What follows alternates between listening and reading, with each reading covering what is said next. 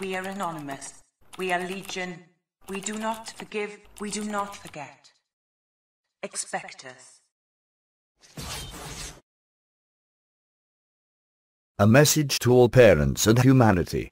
From your brother Anon TH. It is every parent's nightmare. You turn on your home computer and are shocked to see disturbing images of children being physically abused, sexually molested, tortured, and even murdered. You investigate further and discover sexually explicit, obscene email from a cyber predator intended for your preteen son or daughter. You race up the stairs to your child's bedroom to discuss what you have discovered, only to find the receipt for a plane ticket to a destination across the country on the dresser and clothes missing from the closet. Such nightmares are becoming a reality for a small but increasing number of parents as more families go online.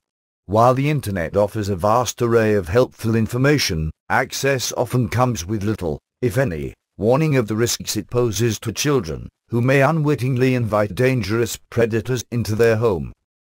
Responsible parents advise their children to never to talk to strangers who approach them in person or over the telephone.